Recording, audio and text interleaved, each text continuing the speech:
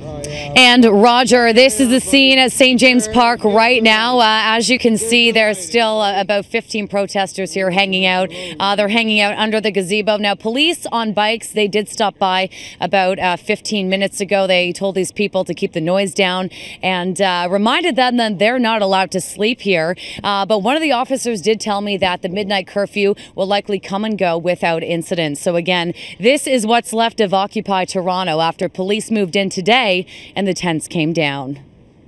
Folks, let's get you to move out of the way, please.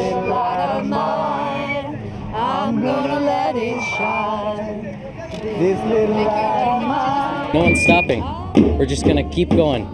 Kind of like a, a cancer in remission. We're just gonna come back stronger. Just before sunrise, busloads of police officers surrounded St. James Park, ready to enforce the city's eviction order. The police are now asking for your cooperation in complying with this order by removing your belongings and vacating the park. City staff also rolled in with garbage and pickup trucks, and one by one, the tents were taken down.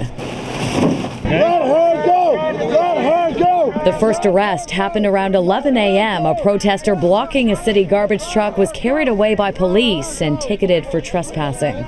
How can you charge her with trespass in a public park in the daytime? We are not moving! We are not moving! And emotions began to boil as police moved in on protesters who chained themselves to the makeshift library. We're allowing them to go in and talk for their five minutes! Arrests were made, but the standoff ultimately ended peacefully. And by 6 o'clock, the occupation was over. We lost the battle, but we're gonna try and win the war. What a difference a day makes. Right now, just a handful of protesters are inside the gazebo. This used to be the heart of Occupy Toronto, where people would gather en masse and hold general assemblies. Now, let's take a look around the park. It's empty. Uh, this is where hundreds of tents used to be set up. Of course, today they were all taken down. Now, I also want to point out the ground. All of the grass has been ripped up, and there's really nothing but mud and lots of it. Now, right now, there are no police officers in sight, but according to the eviction notice, these people have to be out of the park by 12. 1201. We'll just have to wait and see if police will be enforcing that.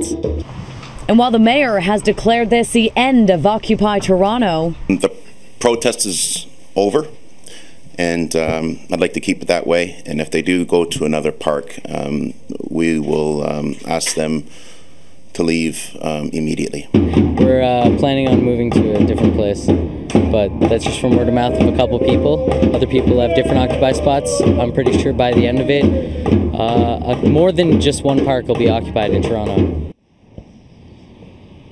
So here we are right now, uh, under an hour to go until the city's curfew comes into effect at midnight. About 15 people, they're still hanging out here at St. James Park under the gazebo. Now, officers did ride by on bikes today. They stopped in and reminded these people that they are not allowed to sleep here. But one of the officers told me that at this point they have no intentions of moving in and forcing these people out of the park, telling me that tonight St. James is business as usual. Live, I'm Shauna Hunt. Back to the newsroom.